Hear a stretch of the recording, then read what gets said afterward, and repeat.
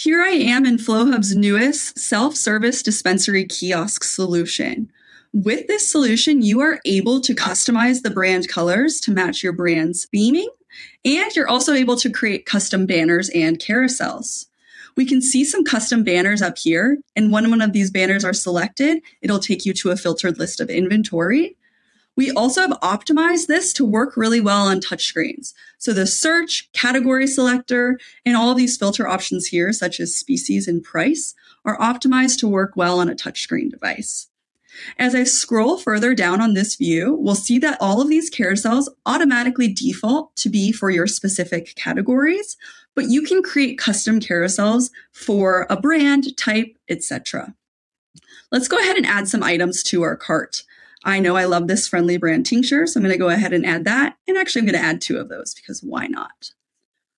Once I have my cart all built out, I'll go ahead and finish out the transaction.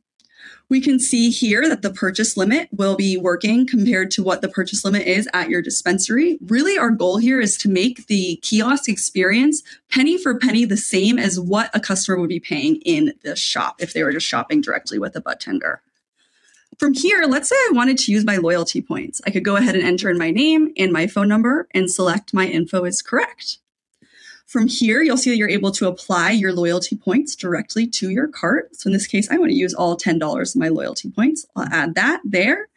And any other recommended products that you want to push to your consumer, you have the ability to do that here as well.